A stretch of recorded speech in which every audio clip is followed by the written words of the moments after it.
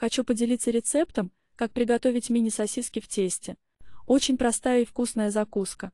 Подать ее можно с любыми соусами или просто так с овощами. Отличное дополнение к пиву. Подготовьте продукты, тесто разморозьте при комнатной температуре, сосиски освободите от пленок. Разверните тесто, обычно получается 4 листа длинных.